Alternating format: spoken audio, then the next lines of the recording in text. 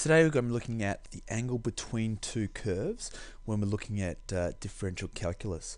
Um, this is the last uh, lesson in this series for differential calculus for the Year 11 um, 2 unit slash 3 unit. Now this is actually extension 1, so if you're just doing the normal mathematics course, you won't need to know this. Um, but otherwise, it is pretty easy, so if you want to have a crack at it, you may as well. Um, okay, so what does it mean to find the angle between two curves? Well, you can see here that we've got two curves. I've used two parabolas this time, y equals x squared and y equals x minus 2 all squared, but they could be anything. They don't have to be parabolas. They could be any sort of curves. But you'll notice that the two curves intersect at this position here. Okay, now at the moment I don't know what that position is, but I do know that that is what we call our point of intersection okay, our point of intersection or POI. Okay, now when we have a point of intersection, you'll notice that it creates an angle between those two particular curves. And obviously that's why it says angle between two curves. So that's what we're going to be finding, the value of theta underneath these two curves. So it might sound pretty tough, but to be honest, it actually is quite straightforward. First of all, what we need to find, because it's the angle underneath that point of intersection, we need to be able to find the point of intersection. Now, I wonder if you can remember how to do that. Our point of intersection, hopefully you remember, in order to find the point of intersection of two lines or two curves, we use simultaneous equations.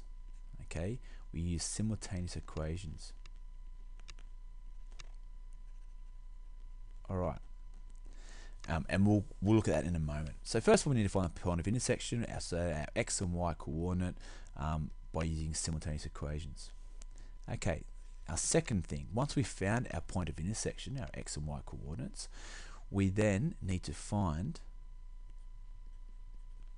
the gradients, and yes, I would say gradients, plural, of the two curves at the point of intersection. Okay, so what I mean by that, if you look at our two curves, you'll notice that the y equals x squared, we've got, if we look at the, the curve at the point of intersection, remember it's the same as finding the, uh, the gradient of the tangent at that point, you can say it's going to be a positive graph or a positive gradient. Whereas if we look at the y equals x minus 2 all squared, the gradient, which is not really a straight line there, you can see it's going to be a negative gradient. So we've got two different gradients. Obviously one's increasing, one's decreasing. Um, so we need to find the value of those two gradients at the points, um, point of intersection.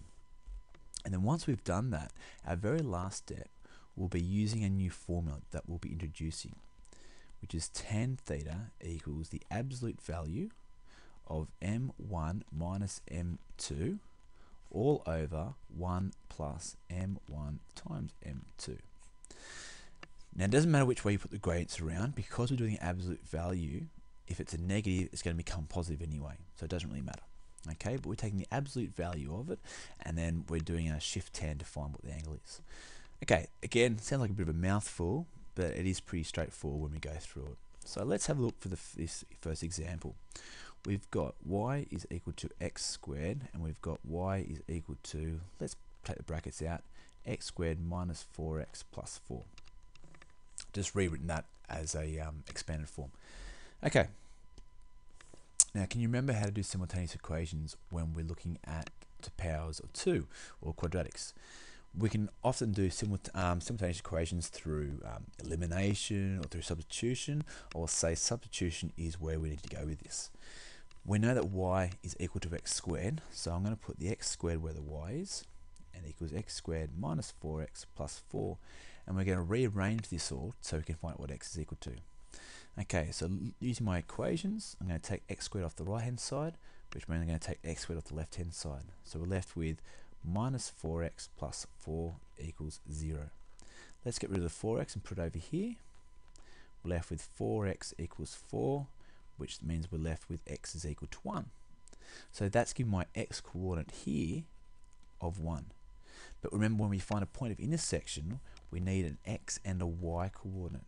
So once I found x equals 1, all I need to do is put it back into one of these two formulas to find out what the y value is.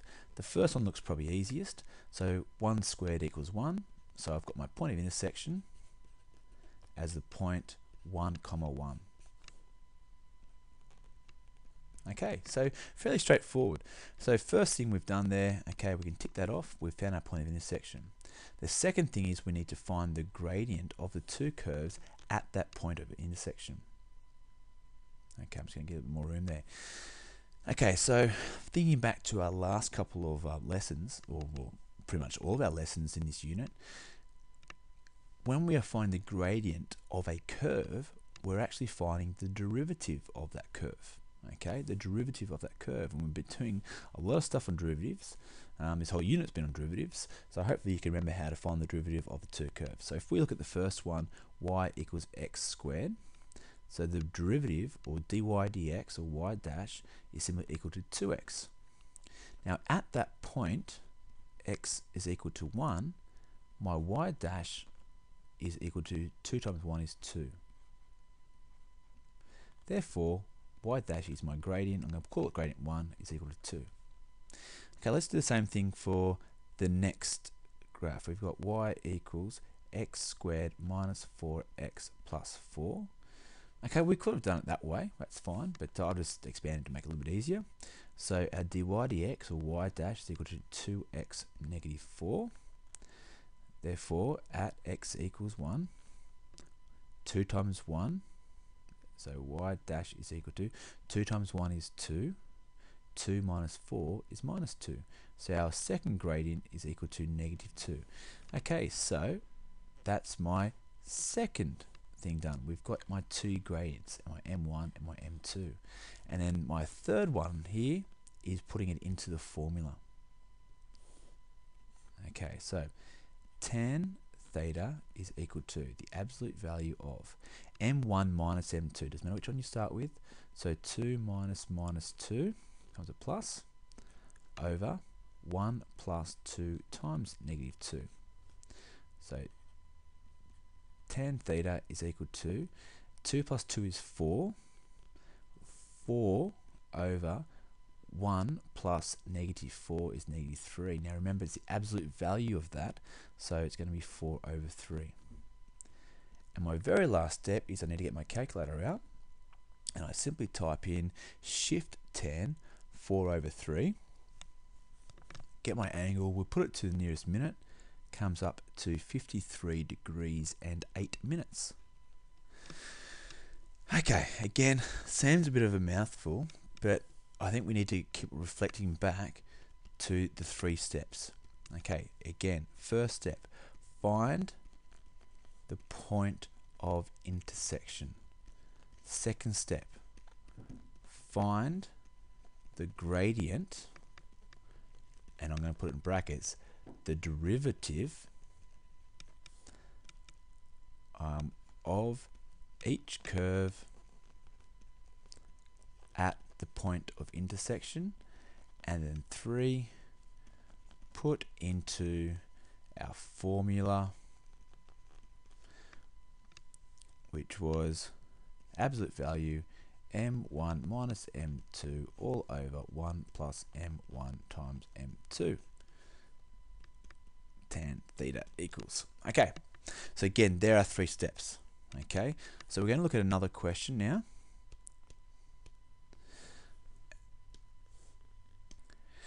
Okay, so this question says, sketch the curve y equals x squared minus 4 and y equals x squared minus 8x plus 12 on the same axes. We need to find the point of intersection at Q, we need to find the value of the gradients at Q, and find the angle between the two curves at Q. So they've been very straightforward in asking each basic question individually. They can just ask you to find the angle between two curves, which you'd have to do B, C, and D anyway. Okay, but the first part they have asked you to do, which sometimes they will ask you, other times they won't. Okay, so we're going to draw or sketch okay, the two curves. So when I'm sketching these two curves, all I really need to know is where my x-intercepts are going to be. So when y equals 0. So in that case, we're doing x squared minus 4 equals 0.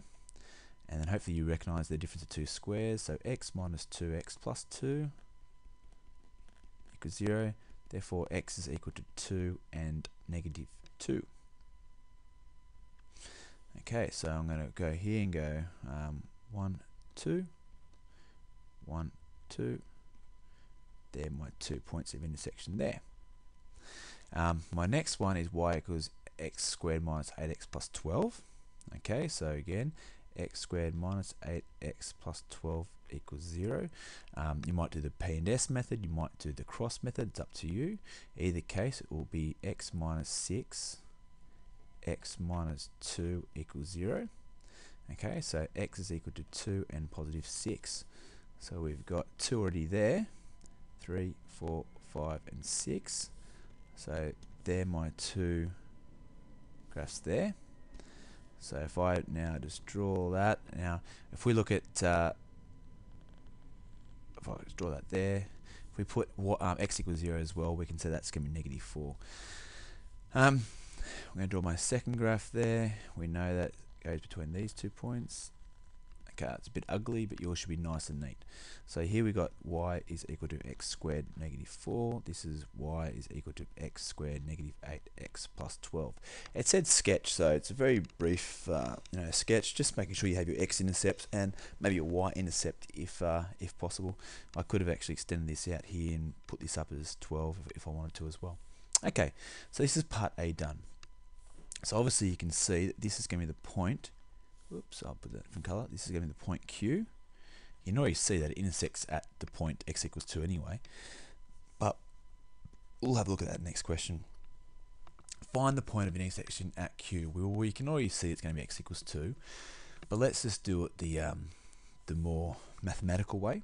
Okay, we've got our two different equations. We're going to solve them simultaneously. So y is equal to x squared minus 4. So I'm going to put the x squared minus 4 here where the y is. So we're going to put x squared minus 4 is equal to x squared minus 8x plus 12.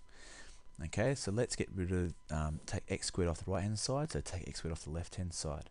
So we're left with minus 4 is equal to minus 8x plus 12. I'm going to pull the 8x across to make it positive. I'm going to take the 4 across to make it 16. So x is equal to 8. Get rid of it by dividing it by 16 divided by 8 equals 2.